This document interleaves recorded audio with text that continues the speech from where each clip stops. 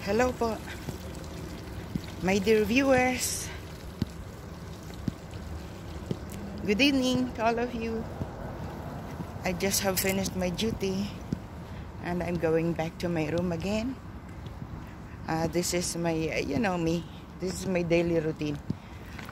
I, I did something very urgent also, that's why I'm a bit late. And uh, now I have an appointment to meet someone along the way. So, you will see. Because I already called, ah, I saw her, she's coming. Hmm.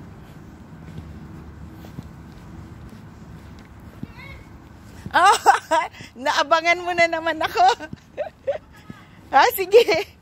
Sige. Dami kong kamit eh.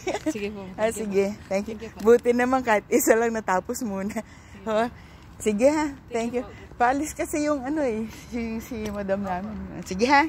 Thank you. Good night ha.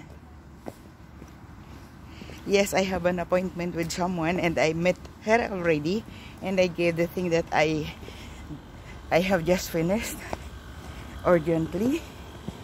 And now somebody was calling me. I heard what is that? Ay, lady, ano, ano yun?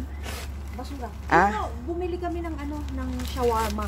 Ah, talaga naman. Ah. Ah, sige, lady.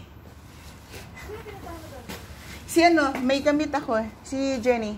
Binigay ko yung damit. Mayroon ako niras kaya medyo late yung uwi ko. Alam mo naman. Andito na naman po ako. In.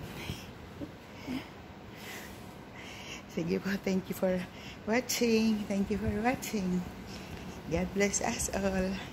Dito paparay ko mayroon na naman pakon. May mga pagkain na naman. Sige na po. Bye-bye. Thank you.